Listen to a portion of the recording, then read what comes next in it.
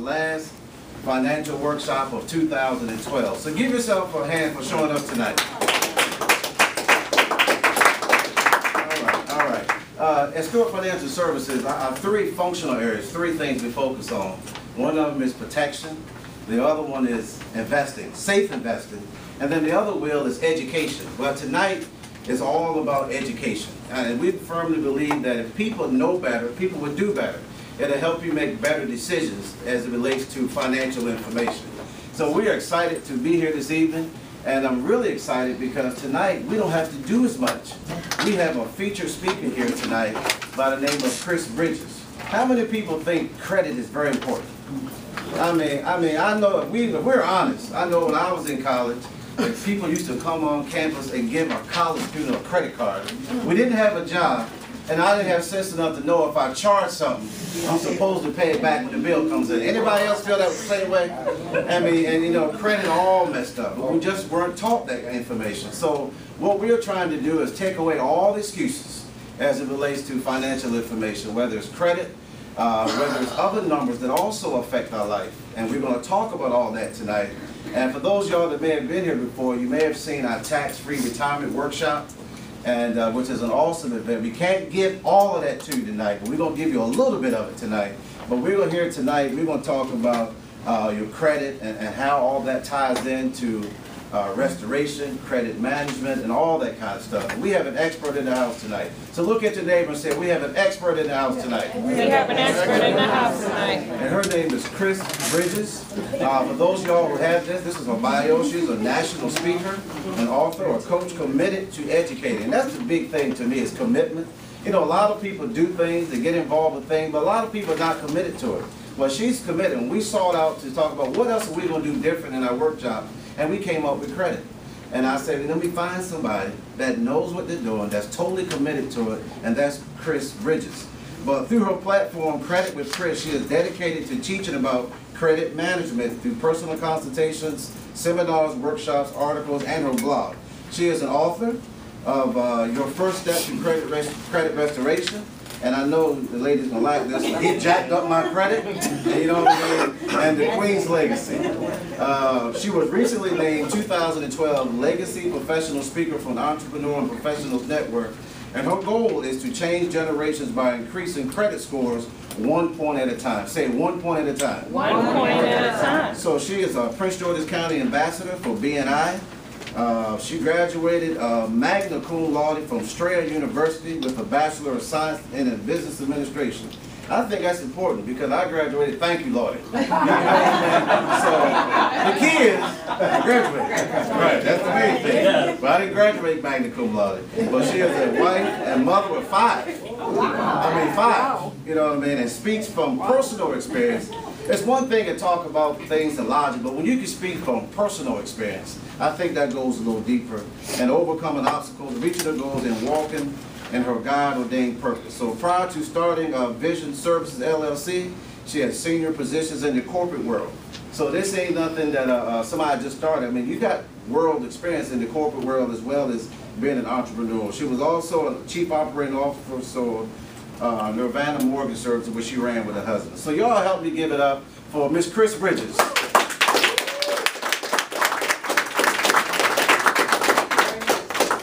I don't know who wrote that bio, but it sure sounds good. uh, it, it's actually funny. I had to learn to. Uh, yeah, thank you. I don't ever mess up here. I had to learn how to pat myself on the back and give myself some credit, right? Uh, and I don't mean that literally. But we're gonna talk about that. Like, wow, that just came out. Um, but I just want to really tell you guys how awesome you look to me tonight. Um, just to come out and be a part, to, to be willing and open to hear what we have to share with you. I'm just really, really blessed to be a part of this evening. And I thank, uh, you know, my sponsors and my new friends for inviting me to come out and be a part of this event with you as well. Anytime that uh, God gives me a chance to be able to share, that is my mission. I am out here to generate and impact generations. Not just teach one person, but I want one person to teach one other person. Because I don't know about you guys, but my, my parents didn't tell me about credit. And, uh, and my college education was after I had children, and I went back to school and figured now that I have to pay for it, I'm gonna get A's, right? And Some of y'all know when your parents pay for your education, you play around. But, um, I was a returning adult, uh, with two small children at home, and so I, I had to pay for that, so I had to make sure I got everything I could get out of it. So that's why I, I graduated from. But anyway, um, I am thrilled to be here again. I'm going to share with you all for about an hour. I am a speaker in my past profession, I used to be in sales. So you combine those two, that's dangerous for going over in time, right? So I'm a salesperson who can speak. So you make sure that you keep me on track. I have a lot to share with you. I know some of you have already gone through your handout. And yes, there is a quiz in there. Don't worry, I'm not gonna ask you to turn it in, that is more so for you, but we wanna talk a little bit about what's going on in our community. Uh, I'm, I am gonna ask if you have questions, there's no sheets in the very back um, of the, of your handouts, and so just write those down. We may not get an opportunity to do it as I go through the presentation, because I have a lot to share with you, but maybe you can see me afterwards, um, or follow up, but I wanna make sure that I'm here to serve you and to answer any questions that you may have. Fair enough? Okay, now I am like a, a, a preacher or pastor at church.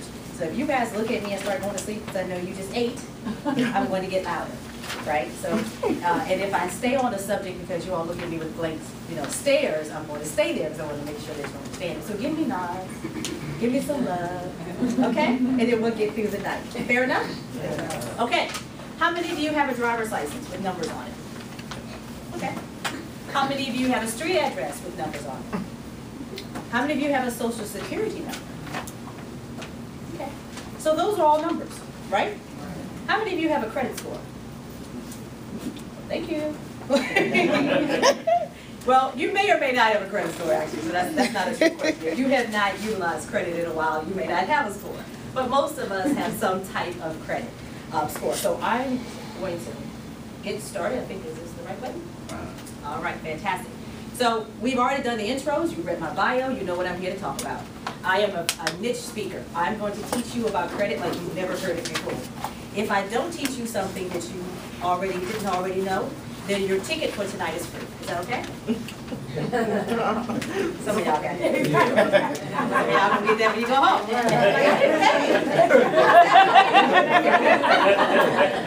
All right, let's jump right in.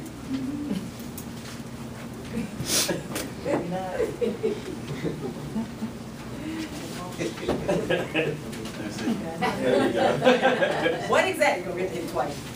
Yeah, just gotta kinda aim it at it a little bit. Oh, I was sitting wrong, but anyway, so, yeah, practice makes perfect. Okay, what is credit? What is it? It's something that you, you pay, you get it today, you pay for it tomorrow, right? Credit really is your ability to borrow someone else's money, whether for real in trans, you know, transaction or paper, to be able to get something that you want today and you pay for it tomorrow. That's, that's really what it is. There's a whole lot more to that. We're gonna make it simple for tonight. Okay? Um, credit is also something that should be used wisely. Would you guys agree? So what my parents told me about credit, my father told me, pay your bills on time. And when I was in the corporate world and I made fifty thousand, and I made a hundred thousand, and I made two hundred thousand, and I made three hundred thousand, and one year I made four hundred thousand. How many of y'all know it was easy to pay my bills on time? I could pay my bills, your bills, and hers if I wanted to, right? And I was doing that. So that was very easy. Pay your bills on time. That's all I knew about credit. You borrow something, you pay it back. It was simple. So in 2006, I had a six-year-old. You- all know I had five children. Mm-hmm. So let me tell you, so Anthony asked me earlier, what are the age of your children? They're 26, 24, 23, 21, and 6. I do, see, that's the reaction I know, especially from the women. But, but let me tell you guys, my six-year-old is the love of my life. She was not, she was a gift of God, no doubt about it, because all children are gifts. But she was not crept up on us, nor was she an accident. We paid for her. She cost me about thirty thousand dollars. I'm trying to bring that child here. And so every day when I want to kill her, I have to remember that you were expensive baby.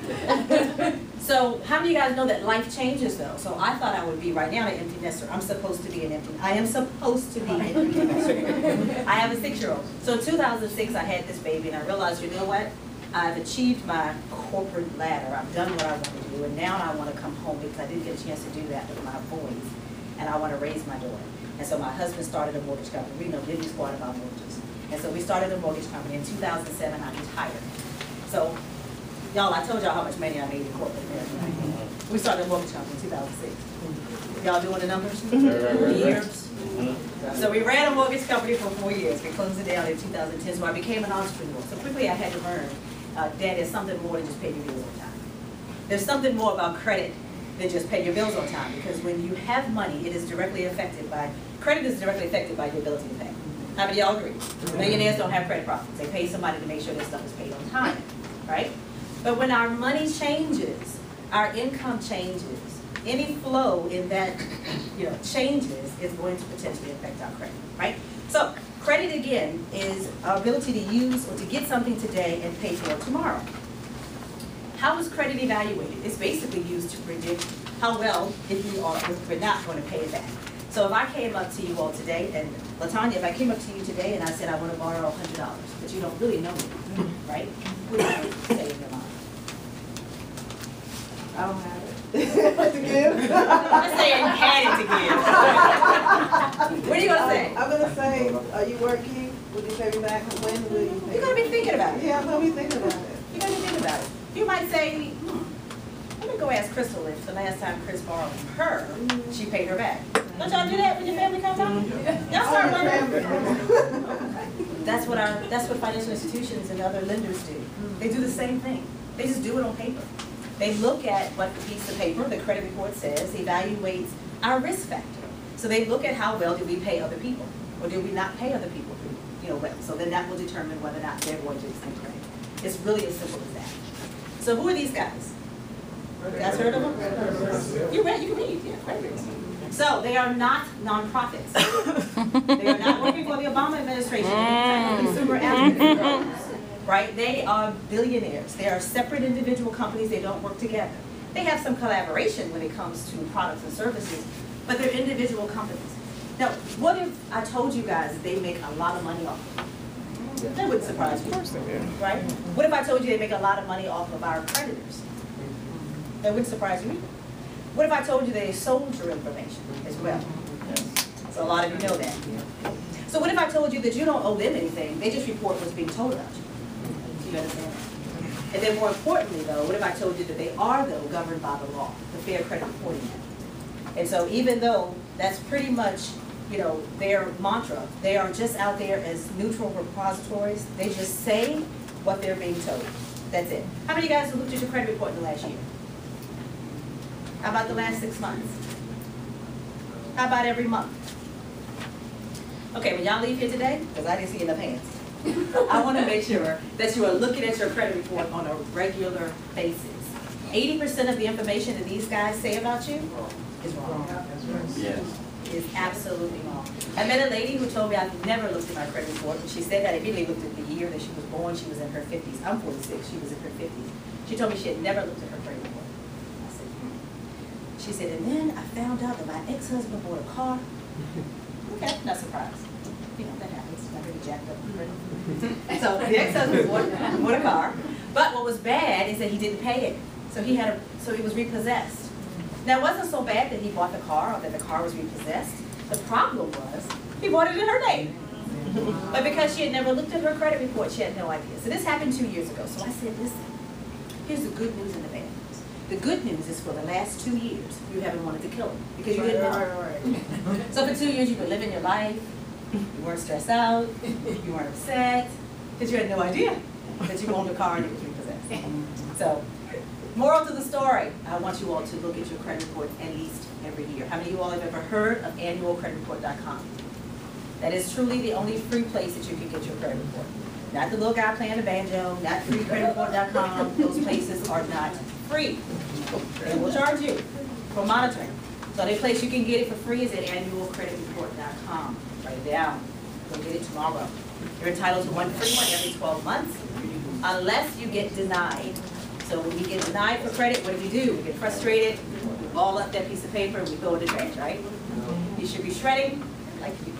You should shred, but you should also read it, because it says there that if you were denied for credit, the credit bureau that furnished your information, that that decision was rendered from, you are entitled to a free credit report. So even if you've had your pre-bill, you can get it, okay? That's the credit bureau. Now, how many of you guys understand also that every creditor does not have to report information to the credit bureaus? They don't have to. And as a matter of fact, credit unions, car financial companies, a lot of times you'll find them just reporting on one. So that's why it's important to look at all three. If you're in a maintenance mode, what I mean by that is you have good credit. I'm going to teach you today how to make sure you keep it though. But you have good credit. You may not have to get all three of them at one time. You have 12 months. So I want you to get one every quarter. And then over the course of the 12 months, you look across all three of your bureaus. Okay? Because again, the creditors do not have to report information to the credit bureaus. So you may look at Experian and look at TransUnion and get surprised. Hopefully pleasantly surprised that there are some positive accounts that are on there. All right? So credit bureaus, not consumer advocates, they make a lot of money off you. And by the way, when you dispute, they make money off that too. So a lot of people think that all of these millions of disputes that are going on right now, that the credit bureaus, it's a, it's an expense to them. It's a profit to them. So they love it. All right? Let's talk about some numbers. Here are five factors of an element of your credit score. Your credit score, a couple of things I want you to understand. Your credit score changes every time something is reported, especially if something is reported negatively. So you could pull your credit report this morning. I am Chris and Company, billion dollar company. I'm extending credit to you, and I just report this afternoon that you missed a payment last week. Right, so I'm reporting it this afternoon. You pulled your report this morning. So tomorrow morning, when someone else comes to pull your report, guess what? You just lost about 100 points. Got that? Your credit report, your score does not stay the same for 30 days. People think that it stays the same and is waiting for someone to ask for it. It doesn't work that way. As soon as someone pushes the request button, all the information that's in that database at that moment in time is used to calculate your score. Okay?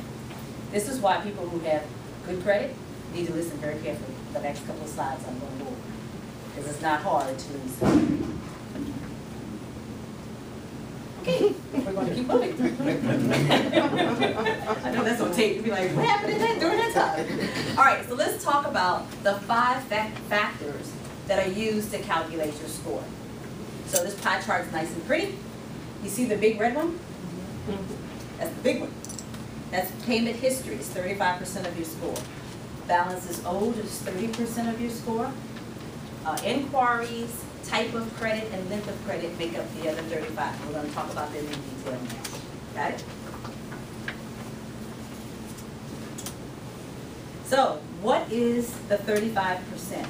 This is good or bad. This is very important to understand. So it doesn't matter whether it's positive accounts or whether they're negative accounts. And what makes a negative account?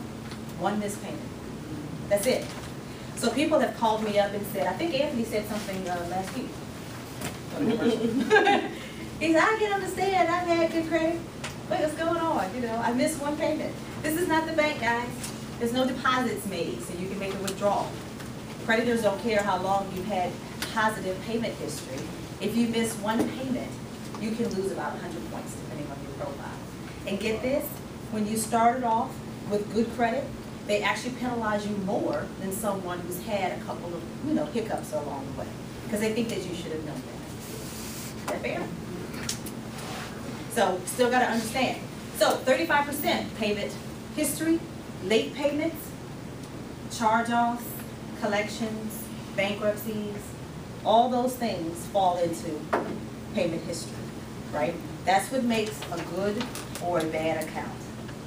Just if we miss a payment at the end of the day. Some other things we're gonna talk about. So recent thirty-day late can drop your score. I've seen hundred points, fifty to be on the safe side, but everybody's profile is different. So I could miss a payment, Eva could miss a payment, I lose thirty, she lost ten. Or, you know, so we just never know, right? So how about those collections? Do we know what they are? I everybody have to answer.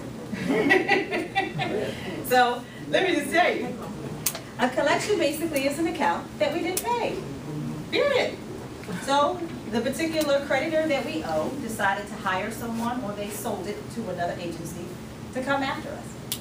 So if anyone, not y'all, I know, but if your friends, any of your friends are having challenges with debtors and you mm-hmm. want to get the top 25 things that they do to break the law, let uh, Mr. Stewart know so that I can send that out to you.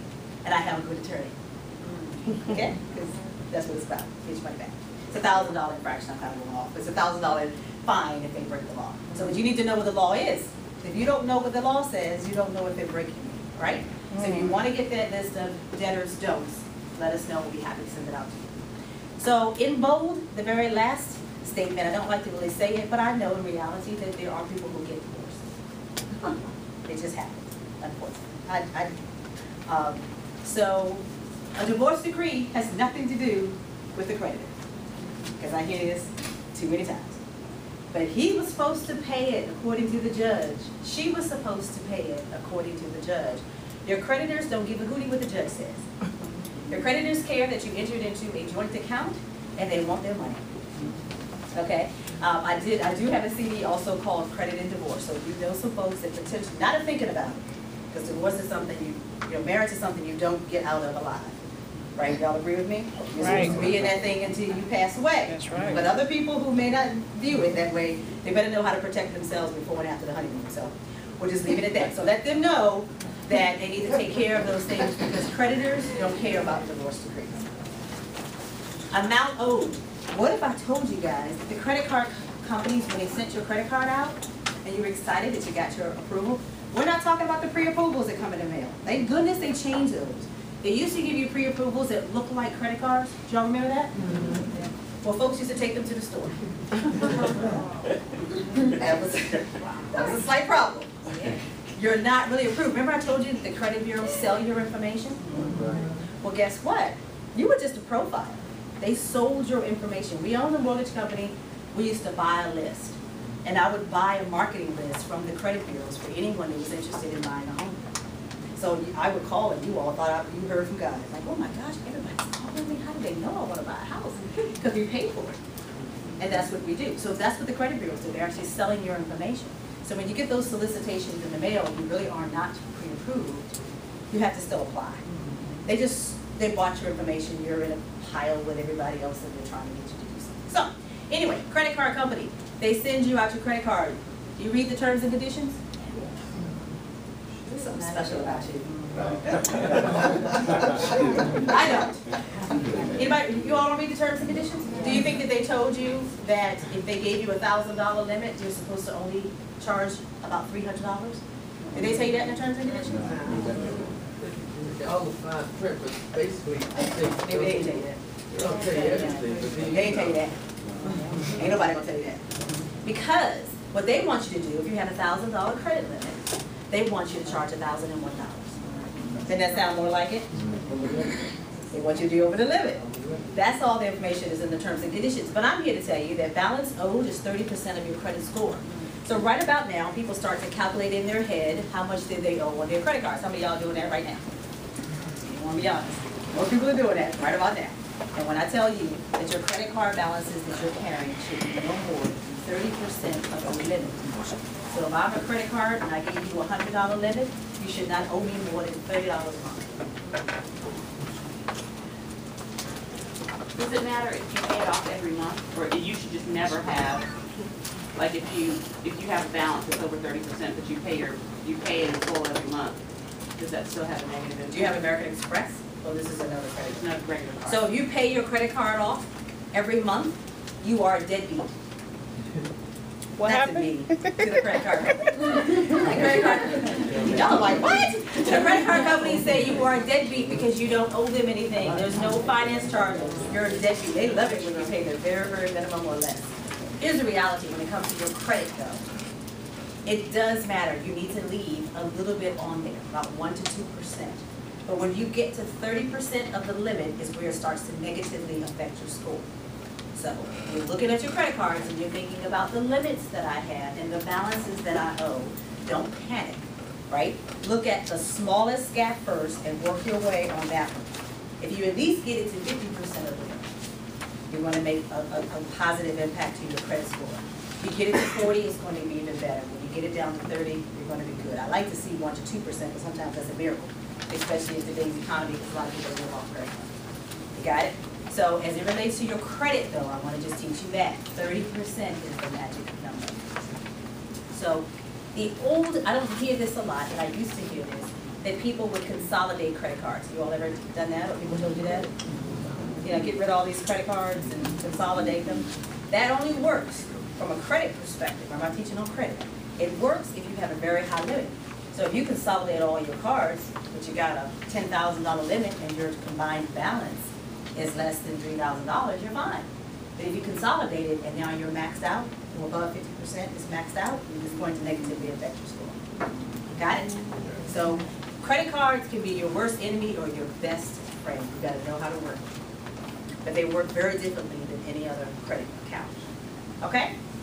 Um, let's talk about length of credit. This is basically, how long have you had credit established? Did you just open up an account last year? Have you had credit for the last ten years? It does matter. People have said to me, I got all this stuff on my credit report, this positive, good stuff. I just don't wanna have it on there anymore. So how can I get this off? So you can imagine my first question is trying to determine, is it good or bad?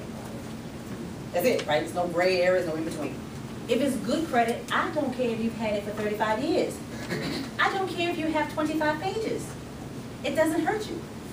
So if you have all good credit and it's aged, leave it alone. It does not negatively affect your score. Now, if you've got twenty-five pages of negative stuff, we gotta check. Okay, it's a totally different ballgame. But it does matter. Don't ever, you know, delete or dispute anything that you've had for a long time that helps you. That's fifteen percent of your score. Got it? We'd like to see about twenty-four months. How many of you all have, uh, young adults? Have you all have old adults? I want to them on the adults. I had somebody tell me the other day, his daughter is four, four, that child's four. He said, Chris, he said, Chris, I won't say who it is because he doesn't know. But anyway, he said, Chris, um, I'm gonna get a credit card in my daughter's name. I said, really? He said, yeah, because you, you know, you teach us that we have to establish credit for our children. I said, your child not even in elementary school yet. That's borderline fraud. I said, have you ever heard of people getting, you know, phones and then they utilities? and That is fraud. Fool. I bet I put this uh, tape. Anyway, um, I'm not talking about your babies. I'm talking about your young adults. So, you all ever heard of authorized users? So when your children, because if they come see me, I don't care how he's shaking his head already. I didn't say cosign, and I said authorized users. Now, because if someone comes to me, I don't care if you are twenty-four or forty-four. If you do not have credit established, I'm gonna tell you, go ask your parents to add you on as an authorized user. This is the best gift that you can give a young adult. So I have a twenty-six years old, year old, that boy probably got more money than I do. I put him on my American Express when he was a teenager. I taught him not only how to use credit, pay his bills, because y'all know every month I gave him a copy of his bill, and I made him pay me back. I told him how to do that, so when he got to college, in Citibank, because you know y'all, they use their friends, y'all know that? So when you go, went to college and you opened up, or somebody approached you about a credit card, was it your friend? Y'all didn't have that? Mm-hmm. Oh, well, they do now. So they'll get, they'll hire their friends, that's their job, and so their friends will go and approach your, your babies. Because it's their friend, it's cool, I'm helping out my friend, oh, right? So if we don't teach them about credit before they get to the campus, they're lost. So my son called me and said, Mom, this person wants me to open up. I said, open it up. Time to establish your own. But at least he called me. He knew about it. I got a twenty-three-year-old, just graduated from Morehouse two years ago, it'll two years in May. How many y'all know that he just got his card? He's been on it since he was in, since he was in high school. He didn't get that card though, because he, he ain't quite learned like his brother. So y'all have to know your children. You don't have to give them the card, but if you add them on as an authorized user, you are helping them to establish credit. If you don't trust them, keep the card at home, don't give it to them, because they can be crazy. I got a call from American Express, the lady said, uh, uh, Cameron, on his account, there's a fifteen hundred dollar uh, attempted charge at Best Buy. Oh. Do you think that he, there's a fraud issue? I said, absolutely. She said, do you, do you, have you contact him? I said, ma'am, there is no need to, con- my son is not crazy. There's no need for me to contact him. He did not try to charge up fifteen hundred dollars on my American Express. He's not crazy. Close his card, open up, you know, a fraud. So by the time I woke him up at ten thirty, I said, baby, where's my American Express? Oh, mom, mom? Mom. First waking up, mom. I said, where's thirty? Get your butt up, you know? So he said, mom, I got the card.